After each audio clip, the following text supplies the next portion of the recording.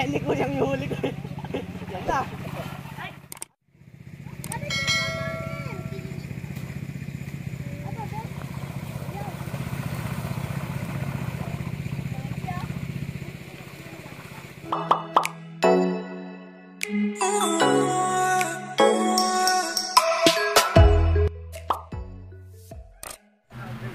Hello everyone! Welcome back to my YouTube channel.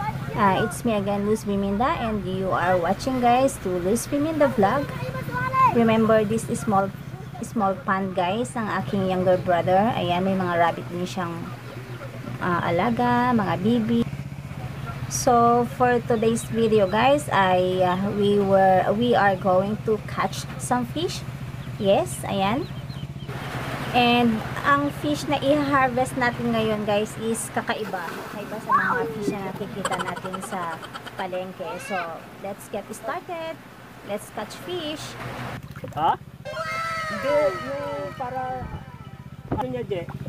Parang lagari. So, as you can see guys, ang Parang isda nito nagari, ay kakaiba. Nakikita nyo naman. So, ang tawag dito sa isda nito ay Pangasius.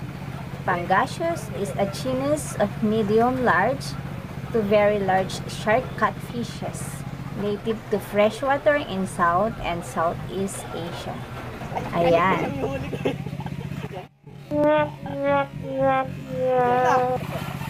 Ando na! Marami. Nandun pala lang sa gilid. Masakit eh, nag, naniningil na sa.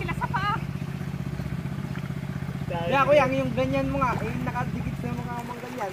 Pag lumipad, yung mata ang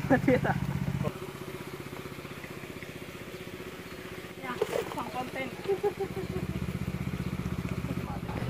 And just to let you know lang guys, hindi mo basta-bastang ah, mahuhuli ng ah, with your barely hands guys ang mga isda nito kasi ah, may meron silang matatalas na ah, I don't know if they call it tibo sa Tagalog. Basta ang alam ko guys is ang tawag sa mga si ah, tawag sa mga tinik nila sa Tagiliran is ah, singil.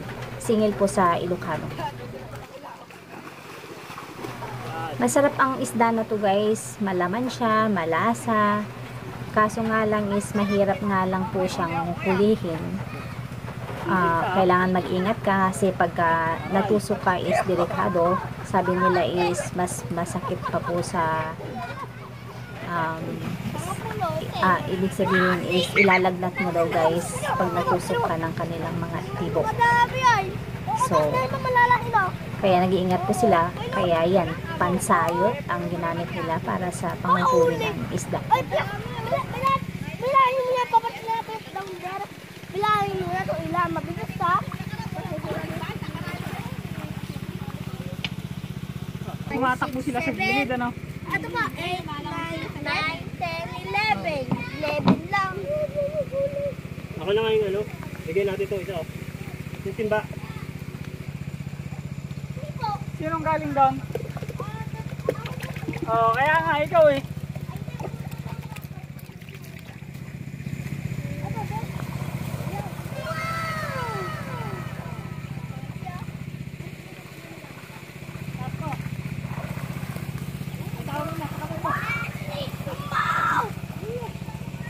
Yung video mo, Nabilon yan.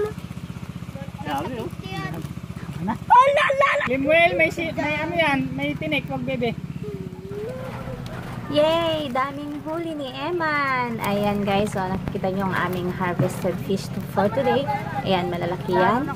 And uh, mas lalaki pa yan guys. So, that's it our video for today. And I hope you like this video. Please, sa mga hindi pa nakasubscribe, please subscribe and hit na rin ang notification bell para mga ah, maging updated sa mga upcoming ah, videos. And uh, uh, kindly comment if what do you think about this video guys? And uh, please like mo na rin po. Thank you so much and kita kids po for my uh, next vlog. Thank you so much again. Bye